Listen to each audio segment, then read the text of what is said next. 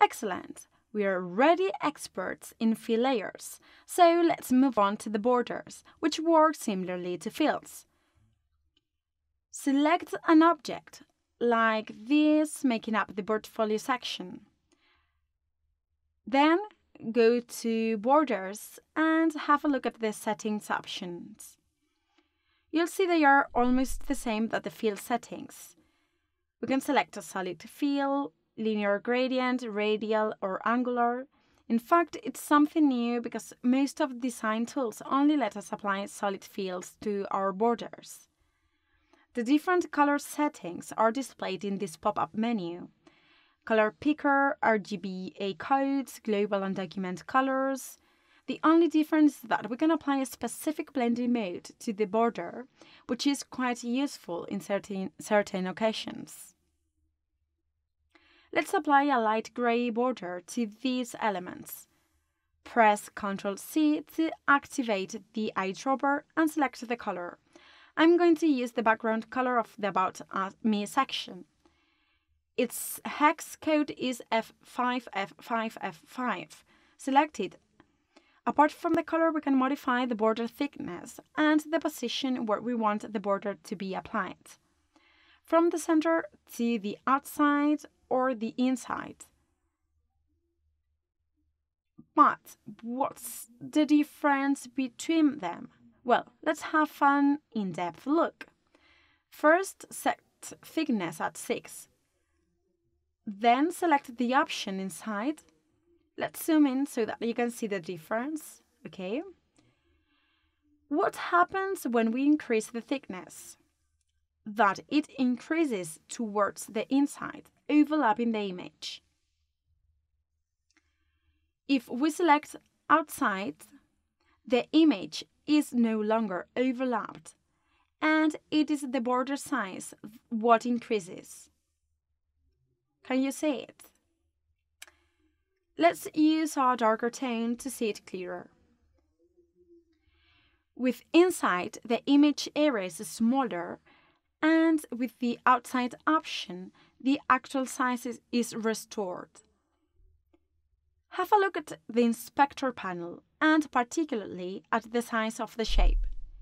This is the size of the circle which has been increased after adding more thickness.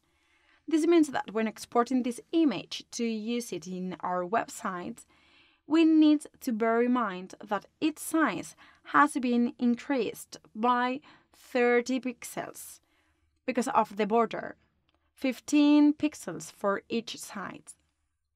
Okay? The center option, as you may guess, is halfway between the outside and the inside options. So again, if we export the shape, the circle we get will be also bigger in size. Guys, keep this in mind when using this feature since it will modify the size of your objects. Let's reduce the thickness to 6 pixels. Select the outside position and pick a lighter color. Not too subtle since it won't be appreciated. Something intermediate, okay? So that's why I'm going to take to pick this one. Okay. Next to the plus sign, there is another icon, a kind of wheel, right? That we are going to use to adjust other parameters. Go outside the artboard and draw quickly aligned with the vector tool in order to explore other border settings. Change the thickness to 80 pixels to see it clearer. As you can see, it's an open path, not a closed shape as we did before. This implies that the line has a beginning and an end, and some points in between. So here we can change the ends, okay, and decide if we want them to be round cap or projecting cap, which are different options. At the same time, we can also modify the joints so that they are pointy, rounded, or create a chamfered edge. We are working with an open path, so we have the ability to modify the start and the end of the path. Like a cycle for the start and an arrow for the end. Let's reduce the thickness to 8.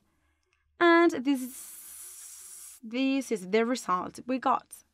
It's quite quite useful when working with complex layouts with lots of pages and sections and we want to indicate how to move from a screen to another for instance it's a popular feature within user experience and interface, interface design and it's called user flows in the fields below we can decide whether we want our line to be dotted or dashed instead of a straight line for this, we need to alter the dash value and the gap value.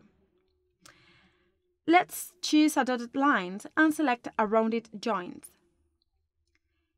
Insert a low value in the dash field and wide gap, like 20. Let's zoom in.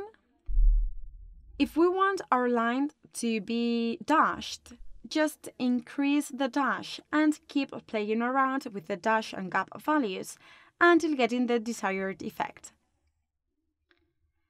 Guys, it's just an example, okay? So let's remove all this.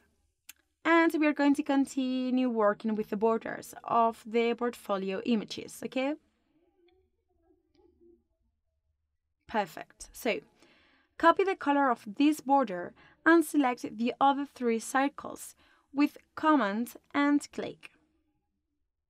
After that, set the border's thickness to 6 and an outside position so that they look like the same.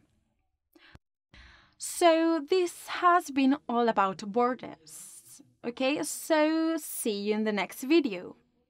Bye!